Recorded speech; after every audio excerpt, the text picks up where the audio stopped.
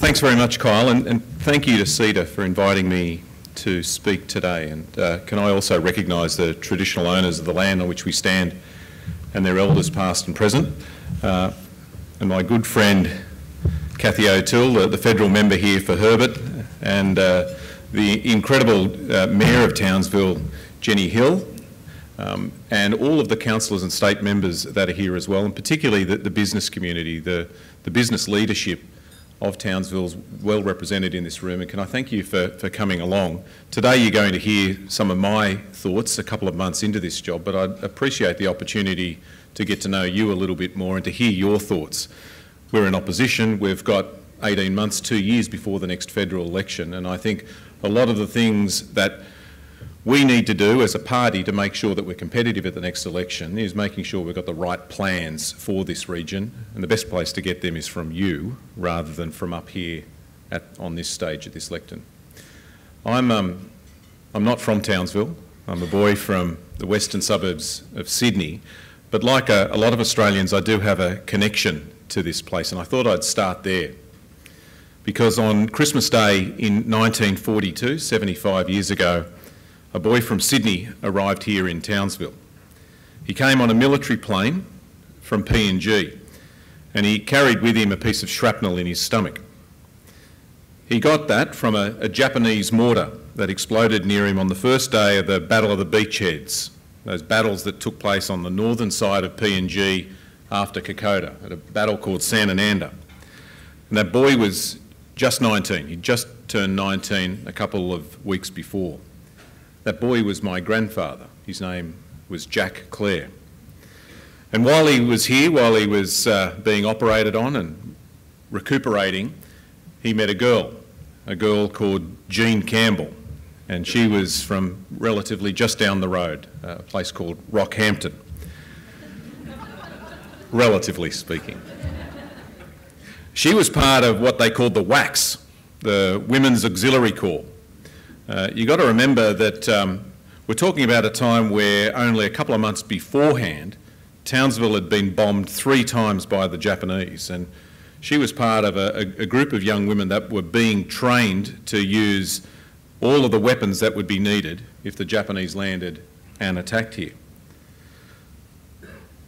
That young woman, Jean Campbell, became his wife and became my grandmother. Townsville uh, is a very different place today than the Townsville that existed 75 years ago when they fell in love. 75 years ago, Townsville had a population, or a, at least a permanent population, of 30,000. There are about another 90,000 people here in uniform at the time, and I don't need to tell you this, you know this. It was uh, a major military base. That's why the Japanese bombed it three times in 1942. Today it's still a major military base, but the population's a lot bigger, now almost 200,000. And it's the home of two world-class universities, a world-beating rugby league team, and soon, hopefully soon, a first-rate stadium for them to play in. But Townsville faces another threat. This is what I want to focus on today. And it's something that hasn't been this bad here in Townsville since well before World War II, since the Great Depression, and that's unemployment. And it's not just a problem here, it's a problem that you'll see manifested right throughout central and northern Queensland. Back when my grandparents were here, about one in three Queenslanders lived in Brisbane. That number's now changed. Uh, that proportion's now changed. Now you'll find that one in every two Queenslanders, one in every two people who live in this enormous state live in one place, and that's Brisbane. And just like other big cities here and around the world, Brisbane has a gravitational pull, sucking people in from the regions and drawing people in for one reason, one particular reason, and that's employment because of jobs. Big cities, at least now in the, the start of the 21st century, are where most of the jobs are being created. Here's a statistic I think that, that might surprise you. In the last 10 years, half the jobs created in Australia have been created within a two kilometre radius of the CBD of Sydney and Melbourne. Half the jobs created in Australia in the last 10 years within a two kilometre radius of Sydney and Melbourne. Now that brings with it, I can tell you as a, as a, a bloke from Sydney, it brings with it plenty of challenges, brings, brings plenty of jobs, but it also brings ruinous traffic congestion and ridiculous housing prices.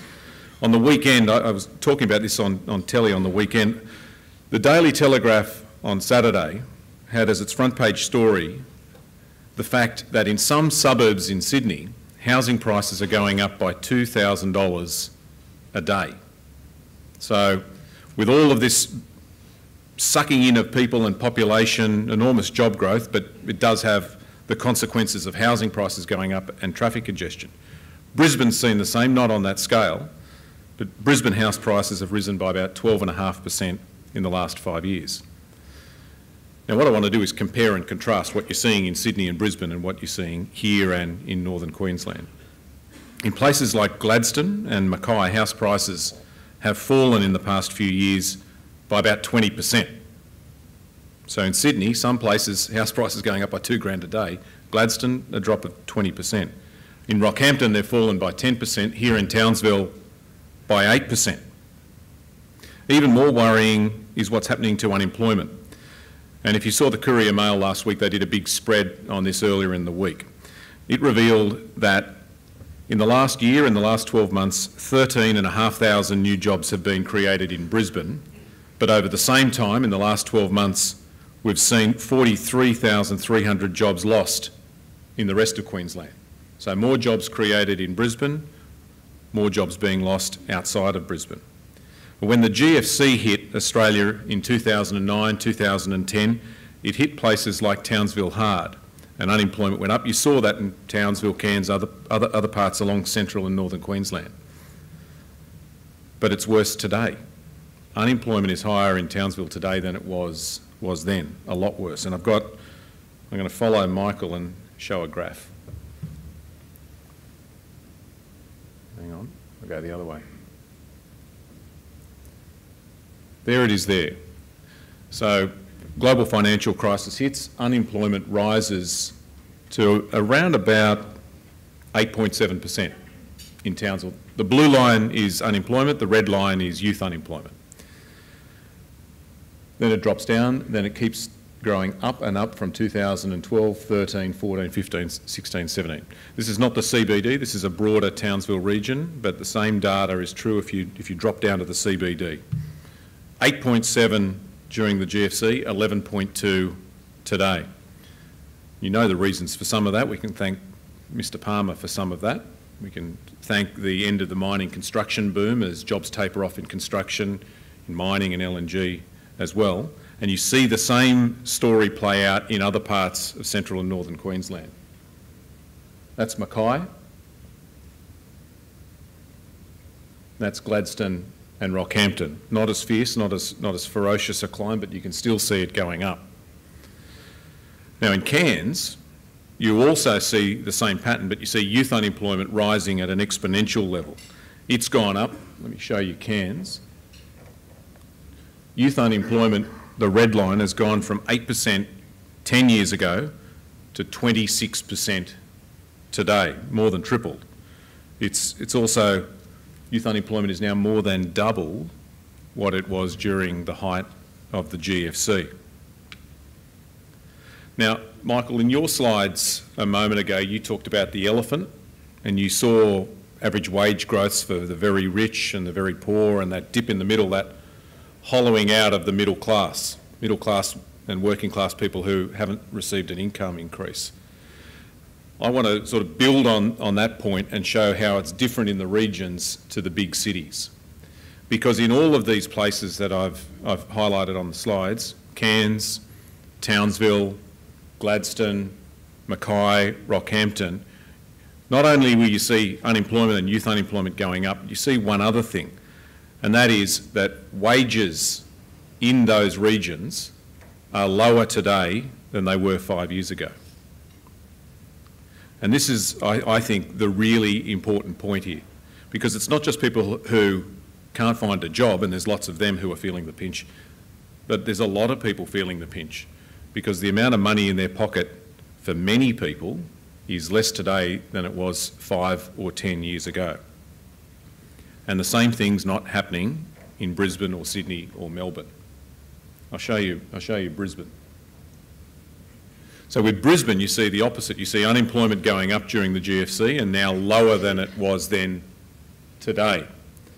I don't have a slide for it, but if I was to bring up the slides of growth in average income or growth in household income, you'd see average income going up progressively through this timescale.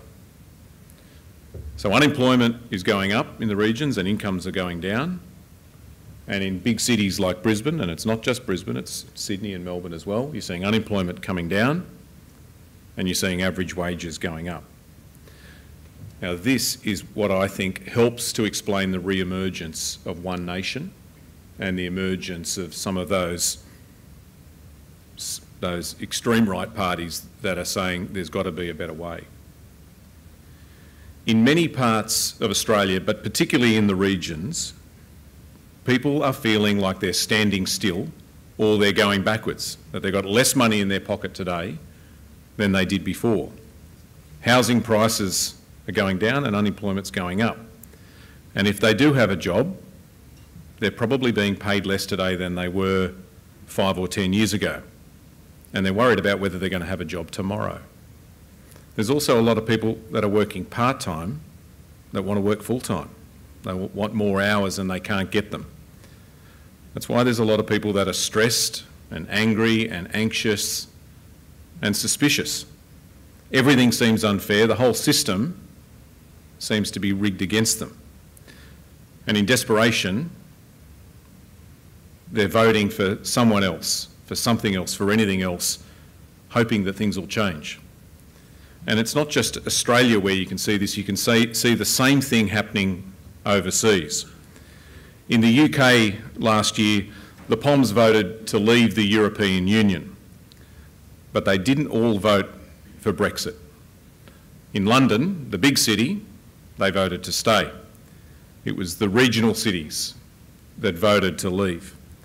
In, in, in, London, just like Brisbane, you'll find that unemployment is lower today than it was 10 years ago. But in places in the northeast, like Newcastle or Sunderland or Durham, unemployment's higher. Coal mines have shut, thousands of people have lost their jobs in oil and gas, skilled, uh, skilled steel and car manufacturers have laid off hundreds of workers. And these are the places that voted for Brexit. You go to the US and you'll see exactly the same phenomenon playing out. Unemployment in the US is lower today than it was during the GFC. But most Americans are still earning less today than they were when Lehman Brothers collapsed eight and a half years ago. And once again, the pain of all of this is not being felt evenly. So you go to a place like Manhattan and you'll find that the median household income is now 18% higher than it was a decade ago. But go to Detroit, Michigan, and it's 10% lower. You see the same problem in places like Ohio and Wisconsin, what's called the Rust Belt of the United States. And guess what? They're the places that voted for Donald Trump. Actually, they didn't vote for Trump, they didn't vote at all. A lot of people decided not to vote. These are places that voted for Obama in 2008 and 2012. Last year in November, a lot of white working class Democrat voters in these states decided either to not turn up and not vote or to vote for a third party. And that's what tipped the balance and meant that Donald Trump won those states and ultimately became the President of the United States. The point I'm trying to make is this. We are not one nation where everyone has the same opportunities. Life is very different depending upon where you live. And that divide is only getting bigger, and politicians ignore that at their peril. Now, I know I've, I've painted a fairly bleak picture, so let me try and even the score a bit. I was here in Townsville in October last year when uh, Sun Metals made that terrific announcement about the expansion of the refinery, and if that comes off, that's going to mean an extra 100 jobs here in Townsville. The Adani project, as everybody knows here, will be an even bigger boon for Townsville and the whole region and create thousands of jobs, a lot of them high-tech, high-skilled jobs based right here in town. I was talking to Jenny about this only the other day and she made the point to me that it is creating, has created already, a new sense of optimism in Townsville. When construction of the stadium kicks off, it'll be another massive jobs generator. The key here, of course, is making sure that the head contractor employs local subcontractors and local tradies. The $1.6 billion port expansion will create another 100 construction jobs. Yesterday's Tiger Air announcement is another example of good news that will create more jobs here in town. A few weeks ago, BHP also mentioned that they're recruiting another 270 people here in Townsville, but right across the region as they expand work at Peak Downs and Saraji mine, the Bowen Basin. I guess, Michael, this is an, another example of commodity prices going, going up and you're seeing more work in the region as, as a result of that. The whole rise of Asia uh, and 3 billion people just to our north who want the same sort of things that we want, the same sort of food, the same sort of healthcare, the same education opportunities, the same sort of holidays, creates great opportunities for the whole country, but in particular for central and northern Queensland for our farmers, for our universities and for our, our tourist centres. And I want to give the state government a plug. I think they're doing some great things. They've, they've put about $5 billion into more than 80 infrastructure projects in North Queensland that'll create more local jobs like the upgrade of the Townsville to Mount Isa rail line. The announcement which I, I saw when I was in Cairns on Tuesday of 200 million for regional councils for 700 odd shovel ready projects is another great example of a government not mucking around. This was announced only a couple of months ago. Jenny, correct me if I'm wrong, but I think council's only had a month to tell the state government what they would spend the money on. Now the decision's been made, the money will go out and if it's done properly, it'll create up to 6,000 jobs around and across regional Queensland. Now the area of Northern Australia policy is one where there is a lot of bipartisanship between the two major parties in Canberra. Both parties understand how important it is. Both parties have tried with some success and some failure over more than a century to help make this happen. And I think that's important. The business community thrives on bipartisanship, wants to see the two major parties try and work together in the best interest of the country. And so you will always hear me, me talk about the good relationship I have with the Minister for Northern Australia, how we can pick up the phone and talk to each other and work things through. But uh, as a, as a person who aspires to hold that job, I've also got to hold the government to account and say, this is where you can do things better. And there are areas where I think the government has either dropped the ball or they've been too slow to act, where they're mucking around with things that could have been done quicker. A good example of that is what's happening at the moment with work being done by the Productivity Commission. Uh, just late last year, middle of December, there was this report on the front page of The Australian. Coalition in bid to win disaffected voters at risk of drifting to One Nation. The story says Scott Morrison has directed the Productivity Commission to identify as a matter of urgency the hardest hit regions and towns most at risk of job losses and economic decline as mining investment ends.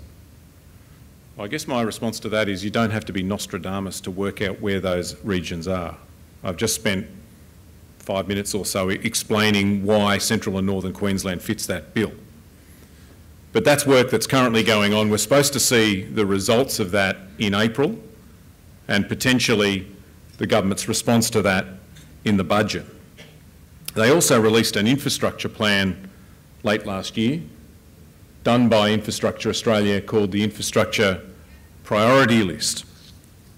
Another good piece of work, a good organisation that was set up uh, when we were last in government. But my major criticism of that is there's not one high priority infrastructure project in that report north of Rockhampton in a region suffering from high unemployment. I make the same criticism of the NAIF, the Northern Australia Infrastructure Facility. Again, this is an area where you've got both sides of politics saying this is a terrific idea. $5 billion to invest in the north, create more jobs, create more businesses. My criticism of the NAIF is it was announced in May of 2015, so we're on the verge of two years. Of that $5 billion, not one cent has been spent so far. It's just taking too long. Then there's the cost of energy and the availability of water. And Townsville knows this better than perhaps most of the regional capitals, most of the regional cities in northern Australia. Townsville is on, Jenny, I'm, I'm right here, level three water restrictions at the moment. And there's a lot of work going on, good work being done through Townsville Enterprise as well as the state government. The key thing here that everyone who lives and works in Townsville wants to know is what the result of that work's going to be and what's the action that's going to come out of it. The federal government's also created a bit of stress lately for farmers both near Rockhampton as well as Charters Towers. I spent a good part of yesterday out at Charters Towers talking to the farmers that would be affected by this, by the potential compulsory acquisition of land as part of the expansion of high range for the deal with the Singapore government and the Singapore Defence Force. The government's now said that they won't compulsorily acquire that land. That's good news. That's a, that's a, it's a great win for the farmers and for the affected local community. We still don't have the revised master plan for that region to know exactly what land the government wants to take. I also want to spend a bit of time just talking about the impact of certain government decisions on regions and use the NBN as an example here. Before the last election, I was the Shadow Minister for Communications. Now, there are some places in Australia that are very lucky. They've already got the NBN and they've got the real version of the NBN, the optic fibre that goes all the way to your business or all the way to your home. A lot of Cairns has got it. Mackay, at least the southern side of Mackay, south of the Pioneer River, has it. But if you don't have it now, you're not going to get it. At least you're not going to get the optic fibre version you'll get the, the copper version instead. And the impact of that for all Australians, but particularly for people who live in regional Australia, is very significant. The AMA put out a report only a couple of weeks ago that warned that health services in regional and rural Australia could fall behind cities even further than they are now unless doctors and their patients have access to fast and affordable broadband. They surveyed their members surveyed their, their uh, GPs right across Australia, and for GPs in rural and regional Australia, they said their top priority was faster broadband. This is an area, I talked about bipartisanship, this is an area where the two major parties disagree. The government thinks that fibre to the node or copper is good enough, and we don't. It's also an area where an election makes a difference. Because remember, we only lost the last election by a couple of, a couple of seats. If we had won, 38,000 more homes and businesses in the seat of Leichhardt would have got fibre instead of copper. 26,000 more homes and businesses here in Herbert would have got fibre instead of copper. 12,000 more in Dawson and 16,000 more in Flynn. So don't let anyone tell you that elections don't matter. They certainly did last year for Central and Northern Queensland. The current debate that the Parliament is having about whether we should cut family payments and pensions will also have a very big impact here. The government wants to cut payments to single pensioners by $365 a year and couples by $550 a year.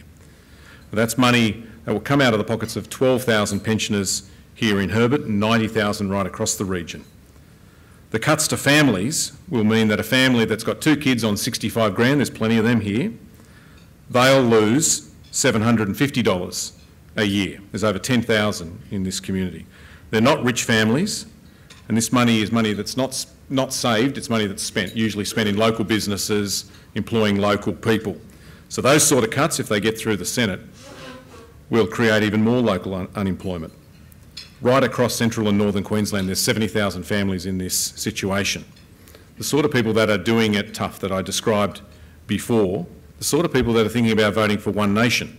And the irony is, if these cuts do get through the parliament, it'll be because of One Nation. Front page of the Oz today, One Nation saying the only problem with these cuts is that they don't go far enough. So the, the point I'd make about One Nation is they pretend to be different, but at least in Canberra there are, there are effectively two Liberal parties. The One Nation's voting with the coalition 80% of the time. There's one other thing where the federal government could do more, and that's on 457 visas. Visas, as you know, that are designed to fill gaps in the workforce. Adani's made the point that they're not going to use 457s, and that's a great thing. We shouldn't be doing that in a region where unemployment is so high. But there's, all, there's still 500 or more workers in the Townsville region on 457 visas. It's an area where it's obvious that something more can be done, and if Labor wins the next federal election, we'll make a number of changes to this system.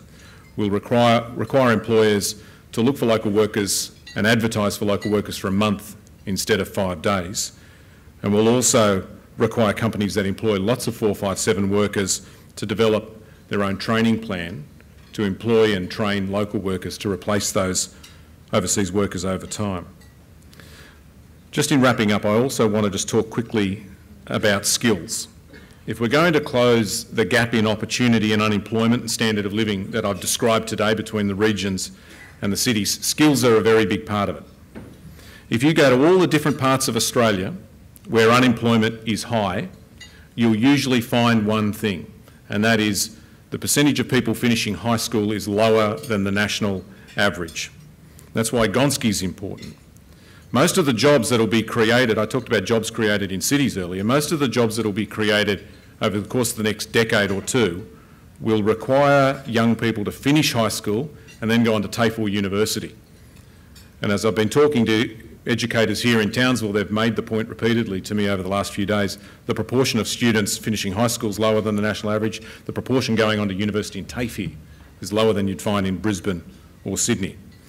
TAFE's also going backwards. We've seen big cuts to it.